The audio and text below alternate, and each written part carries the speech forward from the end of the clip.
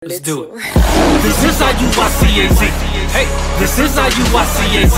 Hey, keeping the faith in the king, and the patience will give us the strength.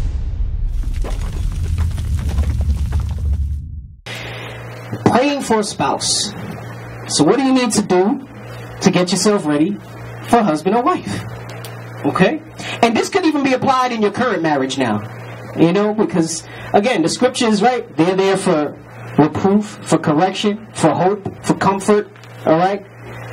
But praying for a spouse. Is praying for a spouse according to God's will? Brothers. Yes? No? Yes. Yes? What scripture would you use?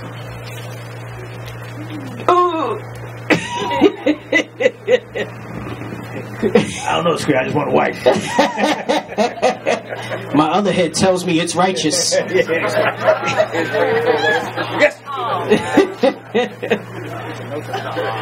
Listen, go to Genesis 2 and 18. So now you know when someone when you when someone says, "Can I pray for a husband or wife?" This is the scripture you go to. the book of Genesis, chapter 2, and verse 18. And the Lord God said, It is not good that man should be alone. God said it's not good that man should be alone. All right, go ahead. I will make him an helpmeet for him. He will make him a helpmeet for him.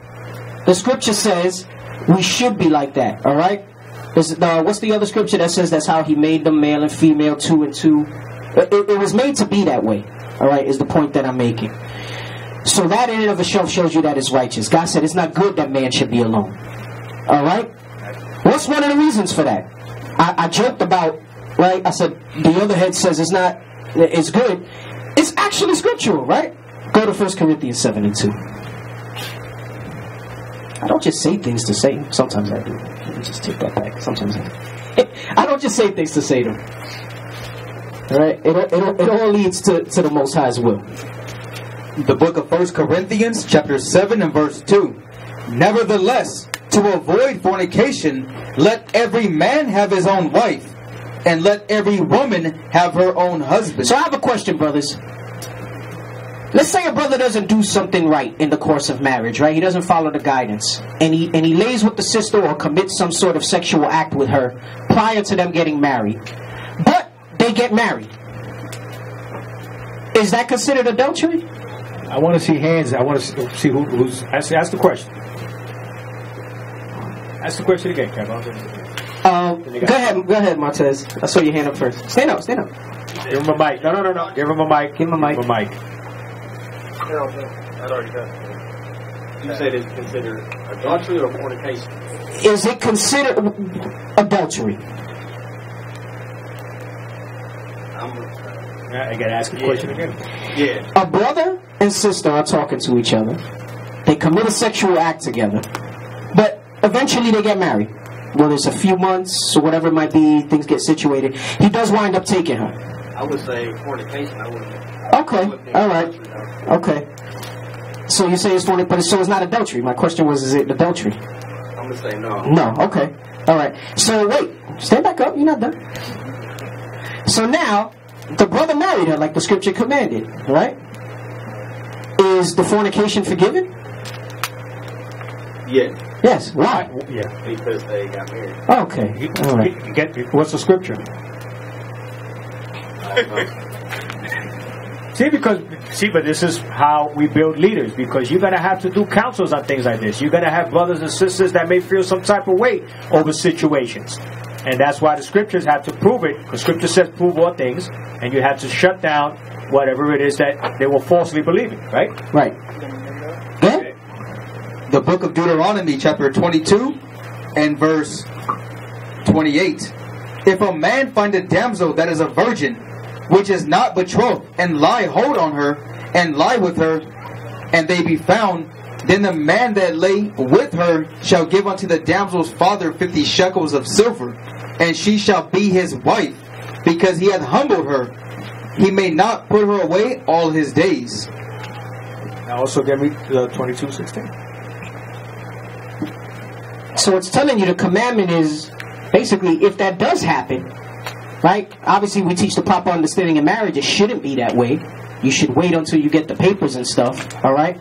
If that does happen, it says he shall surely endow her to be your wife. Right. And if that does happen, here's the precept. The book of Exodus, chapter 22, verse 16. Here's the precept. And if a man entice a maid that is not betrothed, What does that mean? Promise to marriage. No, no. Don't call out. Stand up. If a man entice a maid, I know I'm not. I see the, the marriage thing. I know I'm not going to get through it. I'm not going to get through because I, I want to do the questions and I want to make sure you men have the understanding, and and you sisters by seeing the brothers answer and stuff like that, y'all get the understanding. So that's cool. It's what it is. Marriage is always one of those things that it takes time to go over. All right. Go Right. ahead. Uh, which you, which you asking me? What does betrothed mean? no entice. It says if, if a man entice a maid that is not betrothed, explain that. So the entice or the whole thing? Explain that whole sentence. Okay. If a man entice, uh, so if you're like, uh, What's the word entice mean? entice to like draw her into lust after you, stuff like that. No, that. not draw her into lust after you. Just When, when you were in the world, I'm gonna say in the world, right? Because I know you don't do that now because you focused on the laws of the Most High. All right. When you wanted to talk to a girl, what would you do? What I do, Yeah, I would go up to her. and do what? and just look at her. Just look at her. You spit some game, right? There you go. You spit some game. Look at Willie Bobo. So what is what is spitting game? Spitting game is enticing. Okay. Right? You trying to get her to be like, wanna it- like, like, like the birds in the wilderness, and they come up and they puff themselves up and stuff like that, right? Peacock? Right, like a peacock that spreads its feathers. All right, so you got the entice part. All right, go ahead. So if uh, That entice a maid. That entice a maid that is not betrothed. okay, that is not uh married or um had sex, Or what if the sister's talking to another brother? she's talking to him. Yeah, let's say another brother's be like, "Yo, I'm talking to the sister." Like you say brother, do you mean? Let's say, let's say, let's say, brother Samuel gets up and says, "Hey, I'm, uh, I just want to announce, you know, me and the sister are, are kind of talking to each other right now." And if you entice her, what's the question? The betrothed. What does it mean to be betrothed? Because you said two of the answers, but not the third. All right, uh, okay. So should another brother, if, if if Samuel's talking to his sister, is the point that I'm making, and you like her, should you be interjecting in that? Even if they're not married, they haven't done nothing with each other. Should you be trying to jump up in there and entice her? Not at all. Not at all. No, right. That's the point that I'm making. man, right? It's disrespectful. Exactly. Okay, go ahead. Continue. You good? Go ahead. Continue. And if a man entice a maid that is not betrothed and lie with her, he shall surely endow her to be his wife. That's a future tense word, right? It's an actionable word. Did it say that if he lies with her, she's his wife? No, it says he shall surely endow her to be his wife. Go ahead. What's your question? Is that kind of necessarily claiming the person? You said like What? that? Like lying with her? No, like no. The caveman? No, I got you The first. question that you asked uh, Brother Washington, so it's pretty much almost claiming this person. Like if I got up and said, "Hey, Listen, you're, you're basically saying you're making it known Right. so that you avoid another brother trying to come up and talk to the sister too. And everybody knows, and now you get some guidance and the thing. That's what we tell you, brothers. First, seek counsel about it. Hey, I'm thinking of talking to this sister. Sisters, I'm thinking of talking to you. We might know things about that brother that you don't know. Right, it's to be nosy. It's, Because we want to make sure that if it's, it's it's you know what you're getting into and vice versa, and we're gonna let y'all know. Look, he may or may not be ready. She Right. may or may not be ready. Right, right. We don't want we want y'all to have a happy marriage. We don't want to have you up here every other weekend with counsels. right. That just goes into keeping all things decent and in order. That, that's what that is. You don't want a sister in here talking to five different brothers. That's that's what is. Yeah, because you know what? Uh, We can give you whatever advice. You can do all that, and then you still could do. You might still do whatever the hell you want anyway. Yeah, then it's but, but but at least we've at least we've worked it out. You know, unless you repent. So the point that I'm really trying to get to, all right, because the question that I asked was, if a brother and sister are talking, right, and they happen to commit a sexual act together, and they wind up getting married, have they kept the law? Have they fulfilled the law? Based on what? Based on uh, book of Stand up and say it loud. based upon Deuteronomy 22 and 28 and Exodus 22 and 16. Right. Because the act was finished. Right. So So maybe if it wasn't done right, we might judge the brother or sister for a while and say, you know what, you didn't do it according to everything else, like it says in Tobit and everything. But you know what? You guys want to be together? Yes. Okay. Once you get the thing situated, then you'll be restored because the law was kept.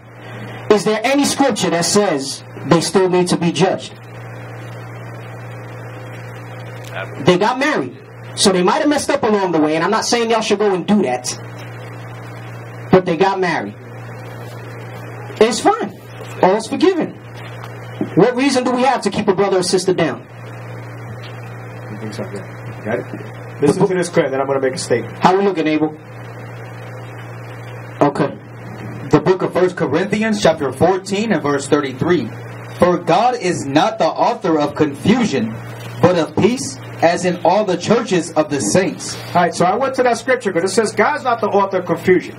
So now, based on that same scenario that the captain brought out, did that not happen with Joseph and Mary? Hey, hey, you're in the spirit, because that was going to be my next thing to say. I'm sorry, Right. No, do it. Did that not happen with Joseph and Mary? Were they judged and they never got repentance? Uh, the, the Most High blessed them with Christ. No, and what they, he says, it, basically, it's not sin. Right, because Joseph was of the feeling Lord. some, Joseph was feeling some type of way. And, and they, why was he That's feeling some way? Because he knew he didn't do it right. Right, exactly. But he said, listen, for this purpose, Right. for this particular, don't mean all things, Right, don't mean all things. Because y'all ain't giving birth to Christ. Yeah, y'all ain't Joseph, y'all ain't Mary. Okay. All right. For you, don't worry about it. Be easy. Right. All right? Right. But the scriptures that we just read also show you that there's mercy. Okay? But you better do it right. And if the brother and sister do it right, then that's it. Right, and that should be the end of the story. This goes back to what I was saying in Romans 9. We have this thing where we want our will to be exerted on things. You gotta, it's up to the Lord. It's all of the Most High.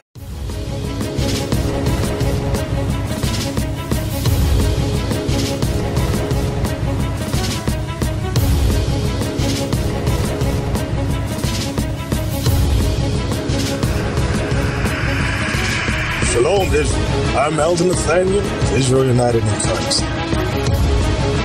YouTube likes to shut our channels down, as some of you have noticed, ever so often. Subscribing to join IUIC will assure you will always stay connected to our YouTube accounts.